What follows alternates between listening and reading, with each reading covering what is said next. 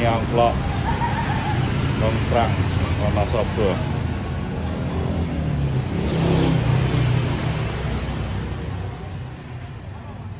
ini mulai kayak ada kanjine biasa tempat ini ramai sekali cuma ini berhubung puasa jadi makanya bisa dapat tempat duduk